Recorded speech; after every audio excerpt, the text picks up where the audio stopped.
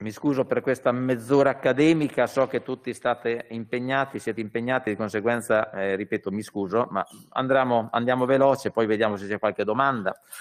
Quando si parla di fondi PNRR, tendenzialmente si pensa subito a opere pubbliche, opere strutturali, ponti, scuole, eh, ospedali, eccetera. Fortunatamente il PNRR prende a carico anche le tematiche legate alle crisi occupazionali che volete o non volete, c'erano già e sono state in qualche modo incentivate non solo nelle marche ma nei livelli nazionali anche diciamo, da questi due anni di crisi pandemica.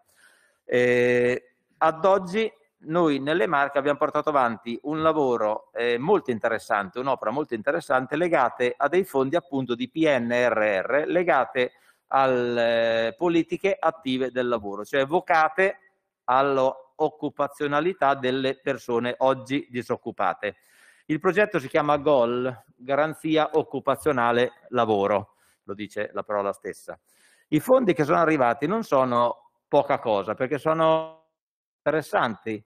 Si va, eh, a, no, si va, per cinque anni arriveranno, questa è la prima annualità, e sono arrivati nella prima annualità 22 milioni e 800 mila euro. In due situazioni diverse 21 milioni 384 mila proprio tramite il PNRR 1 milione e 470 tramite altre attività comunque sempre a disposizione. Quindi complessivamente sono 22 milioni e 800 mila euro.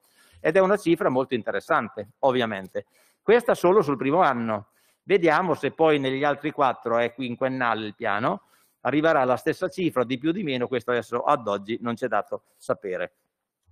Ci tengo a dire che eh, questa cifra e questa attività è stata fortemente seguita dalla nostra regione di concerto con diverse altre regioni italiane nelle modalità, nei criteri, nelle ripartizioni tra regioni. C'è stata una forte discussione, ad esempio, perché uno dei parametri legati a queste cifre, a quanto arriva nelle varie regioni, è legato ai, al numero è legato anche al numero di percettori di reddito di cittadinanza, quindi è, legato al numero dei disoccupati, ma è legato anche al numero dei percettori di reddito di cittadinanza. C'era una fascia abbastanza alta predisposta, evocata, diciamo così, i percettori di reddito di cittadinanza. Questo era chiaro che portava gran parte di quei fondi verso il sud Italia.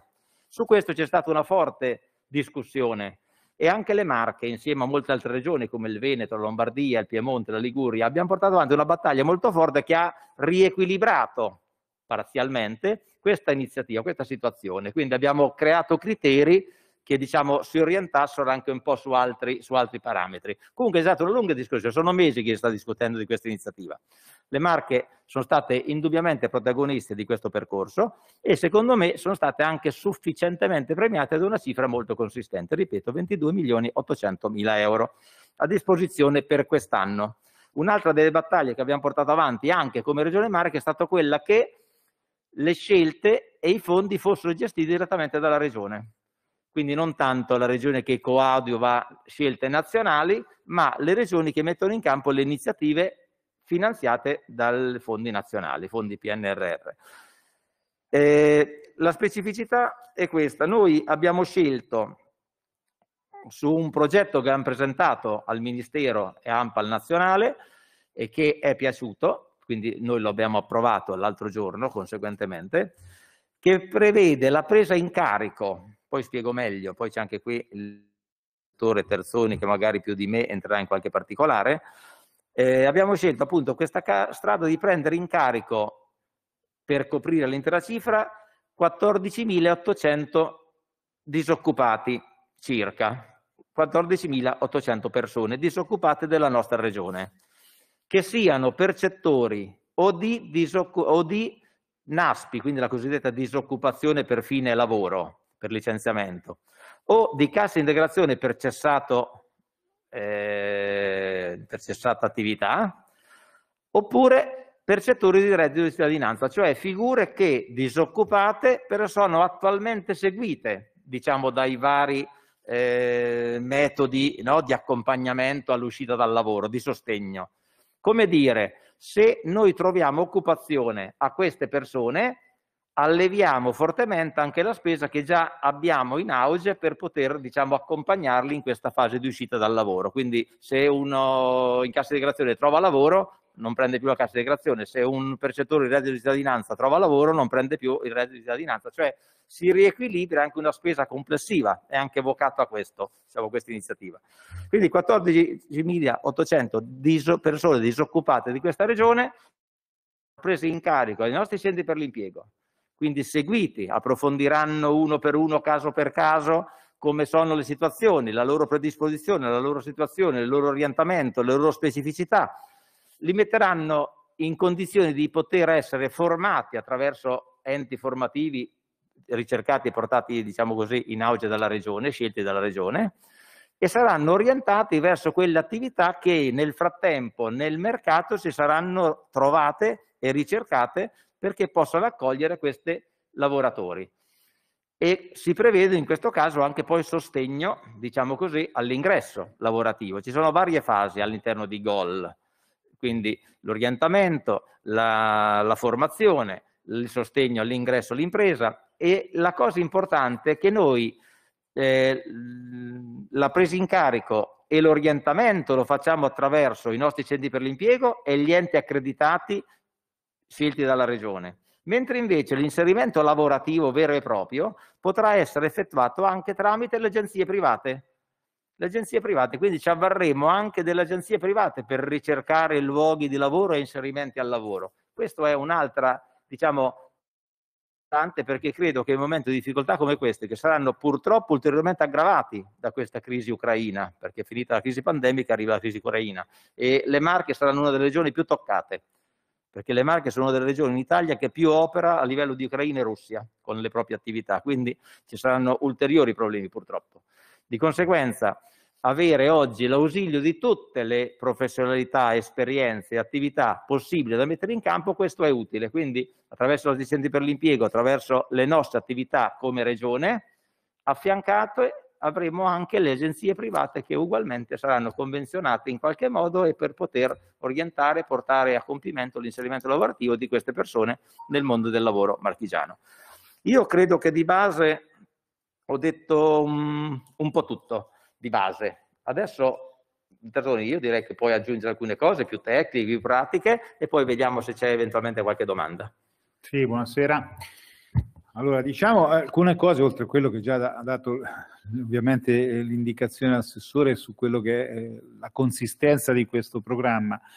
Intanto eh, la fase temporale in cui questo programma cade, e cade proprio diciamo, a proposito, nel senso che noi il 2022 è l'anno in cui si stanno eh, completando ed esaurendo le risorse del Fondo Sociale Europeo che finanzia per la gran parte queste politiche della formazione del lavoro della vecchia programmazione e ancora non sono arrivate, non sono ancora disponibili quelle della programmazione 2021-27 che lo saranno probabilmente verso la fine dell'anno. Quindi eh, diciamo che gol capita a fagiolo, nel senso che ci consentirà da, dai prossimi mesi di mettere in campo risorse per le politiche a favore dei disoccupati eh, per, per, il lavoro e, e per la formazione. Eh, quali sono le peculiarità di questo programma rispetto diciamo, a un, programmi ordinari di politica attiva del lavoro, quali quelli finanziati col Fondo Sociale Europeo, che anche per i grandi numeri che prende in, in considerazione il programma, abbiamo, parliamo di appunto circa 15.000 disoccupati su 80.000 che c'ha complessivamente la regione, quindi parliamo di numeri importanti, non poteva prevedere l'occupazione di, di, tutti questi lavoratori. Preve, infatti il, il target è quello dell'occupabilità quindi mettere in condizione i lavoratori, soprattutto i lavoratori più fragili, perché tra le categorie che vengono, vengono prese in carico una particolare attenzione dovrà essere rivolta a eh, fragili che in base anche alle dinamiche del mercato del lavoro, oltre a quelle diciamo classiche, i disabili, i disoccupati di lunga durata, ma anche i giovani che faticano a trovare lavoro, le donne che hanno lo stesso dei delle eh, performance di eh, occupazione più basse rispetto a, agli uomini.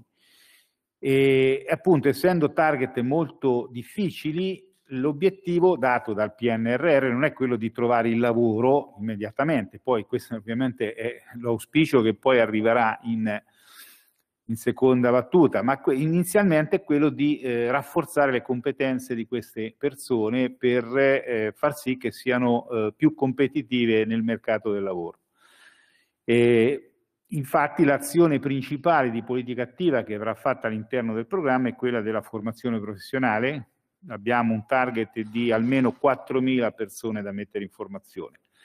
Però noi nel nostro programma abbiamo voluto caratterizzarlo affiancando alla formazione professionale anche altre misure di politica attiva, quindi prevediamo eh, i tirocini, le work experience, anche l'autoimprenditorialità, quindi incentivi per la creazione di impresa. Perché? Perché vogliamo cercare di eh, alzare l'asticella del, dell'obiettivo, cioè non limitarci solo a formare le persone che comunque è importante e utile, ma cercare anche attraverso magari anche progetti specifici di eh, trovare proprio una, una, occupazione lavorativa a una parte ovviamente di, dei lavoratori, dei, dei, soggetti che verranno presi in carico.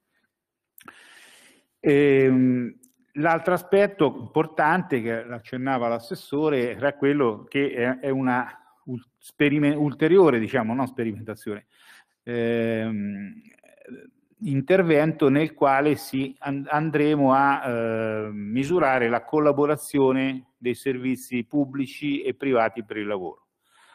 Come ricordava l'assessore, la prima fase, quella di accoglienza, di presa in carico, di eh, primo orientamento di base, verrà eh, fatta esclusivamente dai servizi pubblici per l'impiego, perché hanno diciamo, anche la conoscenza del, del panorama delle, dei soggetti che devono essere presi in carico. Poi però ci sarà l'avvio a una seconda fase che potrà essere, sarà eh, anche eh, attivata utilizzando le agenzie private per il lavoro. Questo avverrà con diverse modalità, una modalità è quella della presa in carico diretta dall'agenzia che poi creerà dei percorsi anche per, per portare e accompagnare a trovare un lavoro a, a questi soggetti, ma anche attraverso dei, delle dei raggruppamenti di impresa che prevedono sia l'agenzia per il lavoro che agenzie formative, in modo che ci sia diciamo, questa eh, integrazione di politiche, quelle formative, con le politiche poi successive di accompagnamento e inserimento lavorativo in azienda.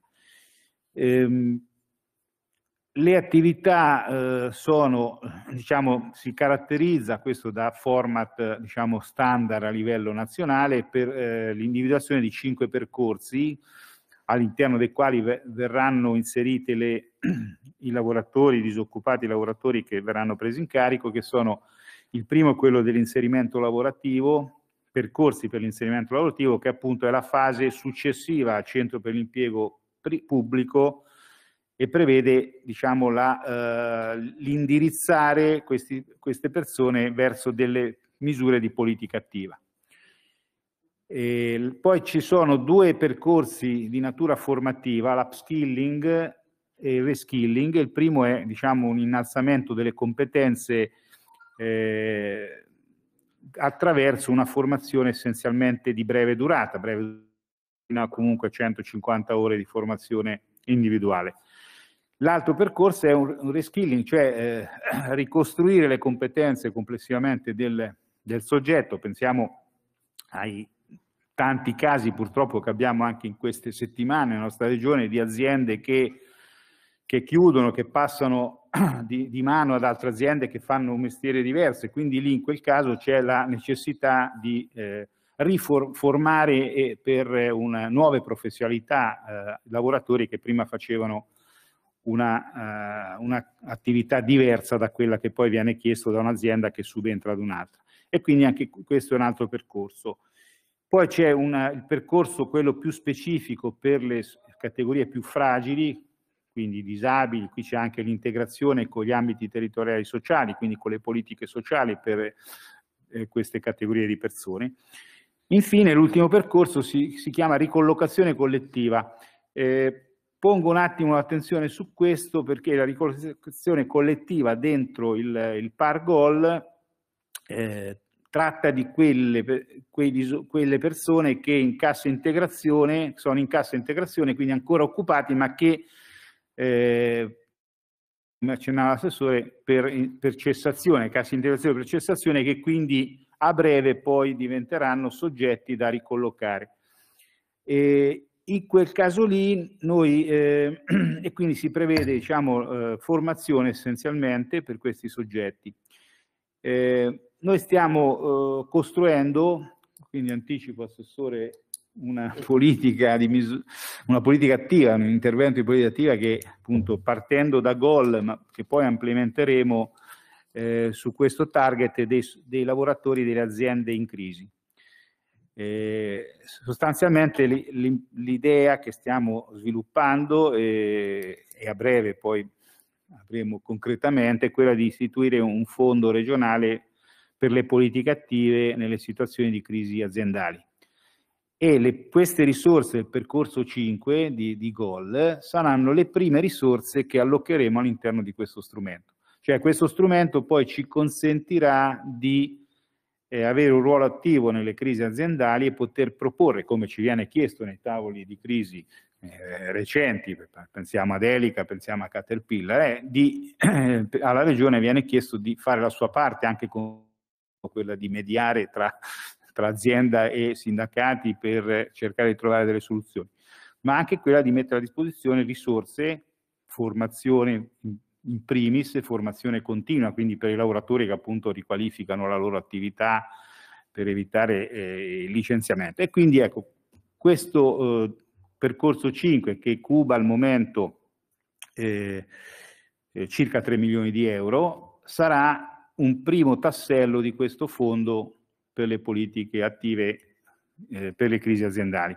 E quindi ecco, è importante, poi a, questo, queste risorse ne aggiungeremo anche altre, arriverà anche il Fondo Sociale Europeo, eccetera. Quindi costituiremo questo, questo strumento che riteniamo che sia importante per dare risposte alle crisi aziendali, sperando che ce ne siano meno possibili, di meno in futuro, però non è che siamo così ottimisti su questo. Grazie.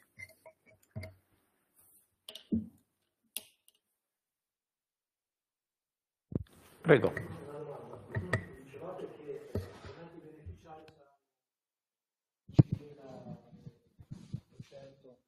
...14.800 beneficiari circa, e, ehm, a fronte di 80.000 disoccupati, come verrà diciamo, fatta l'individuazione di questo plateau diciamo, di beneficiari? Grazie.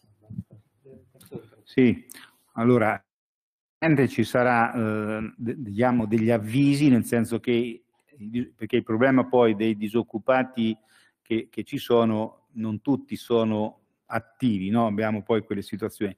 Quindi probabilmente non dovremo poi fare una selezione all'ingresso tra disoccupati, probabilmente ci saranno disoccupati che si rivolgeranno agli sportelli dei centri per impiego eh, richiedendo di essere inseriti in, in politica attiva. Quindi noi prevediamo, è chiaro che non manderemo indietro nessuno, cioè se ne arrivassero 25.000 disoccupati li, li, prenderemo in carico tutto, poi questo è solo il primo anno, chiaramente, poi il programma GOL continua anche nei, nei prossimi anni fino al 2025, forse anche, anche oltre, poi le, le risorse potranno spe essere spese anche successivamente. Quindi diciamo che eh, non ci sarà il problema né della, di di pochi utenti da intercettare, ma probabilmente anche se fossero di più saremmo in grado di farlo, ovviamente. È una gradualità. Una... Siamo già a metà anche se non finire al prossimo ci stanno le risorse. È che arrivato sono 4.800 perché abbiamo valutato che con quella cifra lì la mole di lavoro più o meno ci porta a quel numero lì, ma non c'è un deve ancora partire. Sì, anche perché... Non ci rendiamo neanche conto fino in fondo che tipo di sviluppo potrebbe avere. È, è inedita la cosa.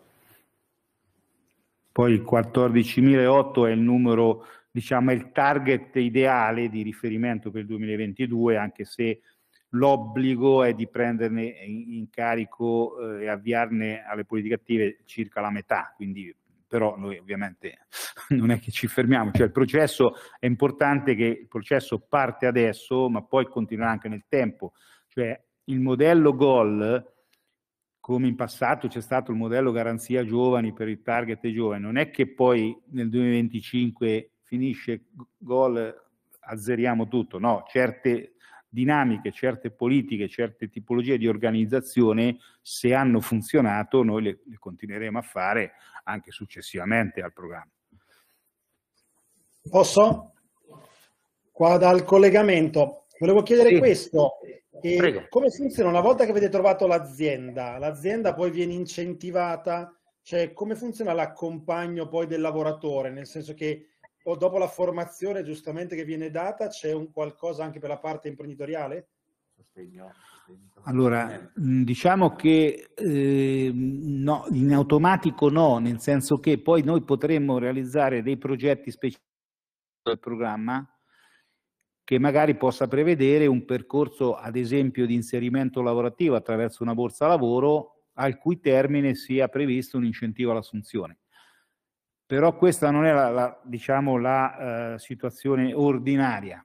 La situazione ordinaria, il, il, il focus è sul lavoratore, per esempio l'Agenzia per il Lavoro lo prende in carico e lo uh, accompagna un'azienda, ma non che l'azienda per forza debba avere l'incentivo. Poi faremo, magari abbiamo già ipotizzato, all'interno del programma faremo qualche progetto specifico per magari target specifici che potrà prevedere anche un incentivo all'assunzione, però questa non è la, la soluzione, diciamo, situazione ordinaria.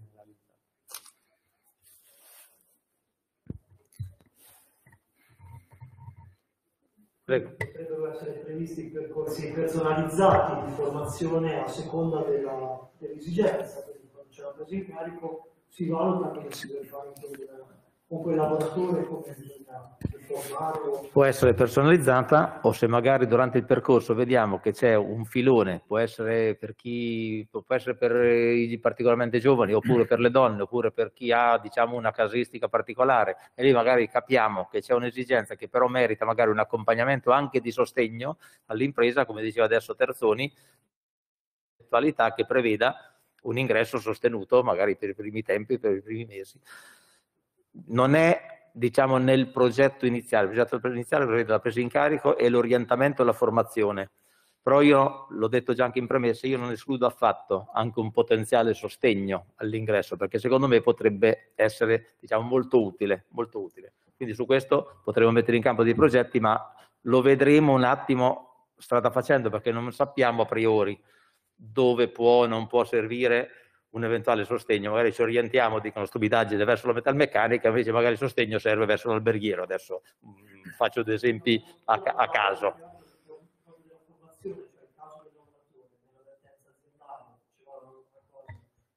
L'azienda cessa, eh, lo prende in carico il centro per l'impiego e valuta sul lavoratore che tipo, quale tipo di attività. Di predisposizione ha, chiaro, però ci può anche stare che un lavoratore che ha fatto finora un lavoro e magari noi sappiamo che c'è un'esigenza di tipo diverso, noi possiamo a quel lavoratore chiedergli se è disposto a fare un corso formativo che lo orienti verso questa nuova, anche perché oggi bisogna essere molto eh, attenti, flessibili su questo, perché il mondo del lavoro cambia repentinamente, cambia repentinamente. Consideriamo che noi, per esempio, per quello che riguarda l'attività formativa, abbiamo già di pronto intervento, definiamolo così, cioè il catalogo regionale della formazione, il bando per lotti di ore di formazione. Questo ci consentirà di eh, poter avviare velocemente i soggetti alla formazione su un ampio ventaglio di figure professionali. Poi se emerge una, come già abbiamo ovviamente eh, valutato nell'ambito delle analisi del contesto produttivo de, di analisi del fabbisogno delle figure professionali che fino ad oggi magari non, non erano eh, praticate molto a livello di formazione, semmai se dovesse servire faremo anche un bando specifico per quelle figure pensiamo a tutte le figure diciamo a transizione digitale o, o, quelle in natura ambientale oppure quelle più tradizionali tipo l'impiantistica e l'edilizia che oggi è un tema di estrema attualità. Quindi eh, laddove non avessimo nel catalogo regionale queste figure professionali ovviamente saremmo eh, pronti a, ad attivare questi percorsi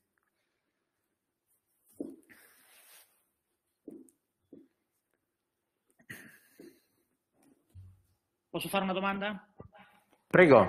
Eccomi, sono Luca Fabbri.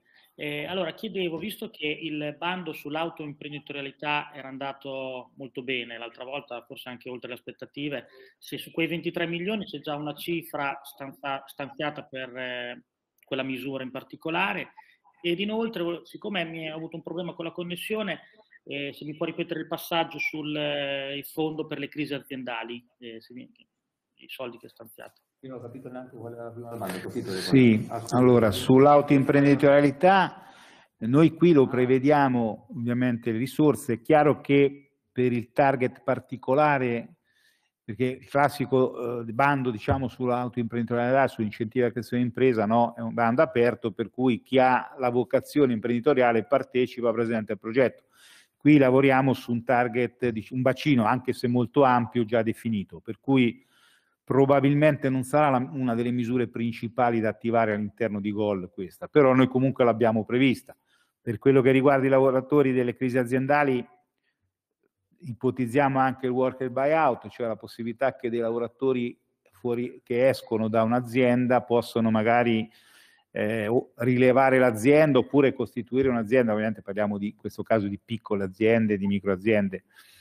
Eh, però ecco, il grosso dell'auto imprenditoriale arriverà col Fondo Europeo adesso in previsione. Infatti, su questo ci volevo tornare, prendo a spunto questa domanda perché i bandi che noi abbiamo messo in campo lo scorso anno eh, per oltre 9 milioni di euro per la creazione di impresa sono andati a buon fine, nel senso che sono gradatorie non fatte, tant'è che un paio di mesi fa abbiamo rifinanziato per ulteriori 2 milioni di euro lo scorrimento di quelle gradatorie. Quindi sappiamo che molte aziende, piccole aziende sono state create grazie a questo incentivo.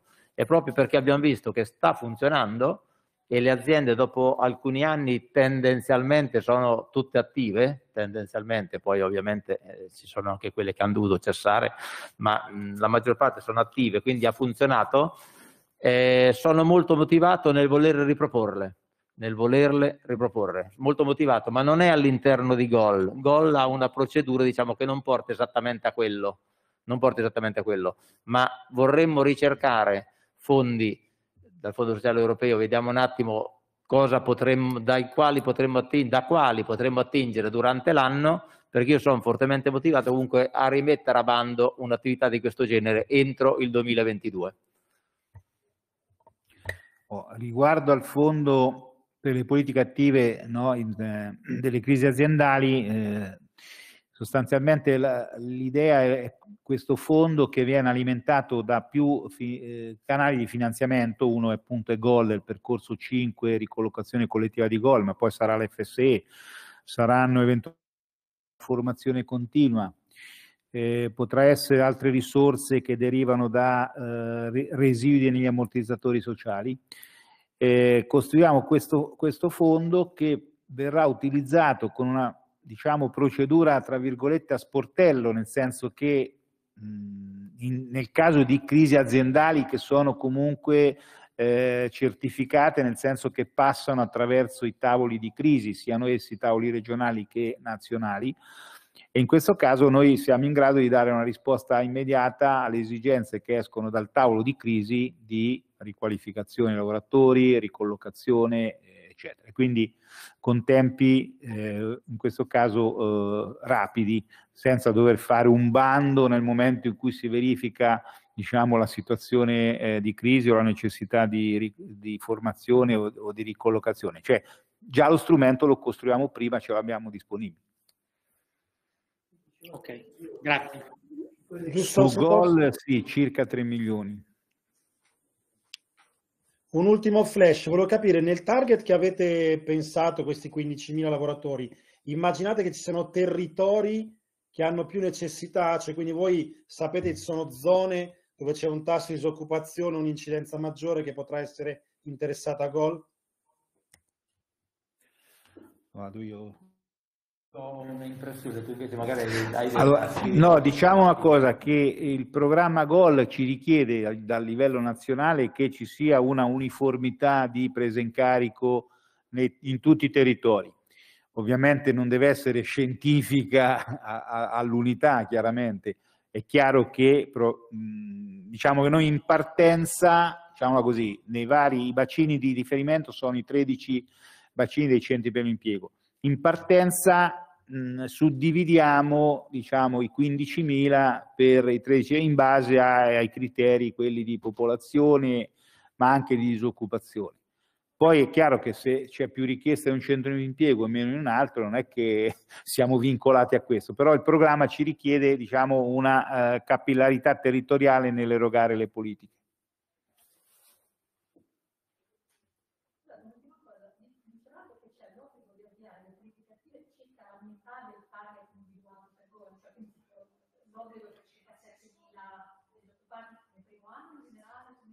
No, nel primo anno questo, questo parliamo del primo anno.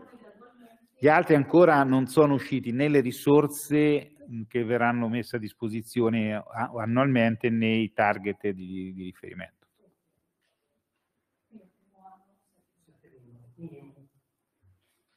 L'obiettivo nostro è molto più alto, cioè quello che diciamo è l'opera per, poter fruire diciamo, di, queste, di queste attività, di queste somme.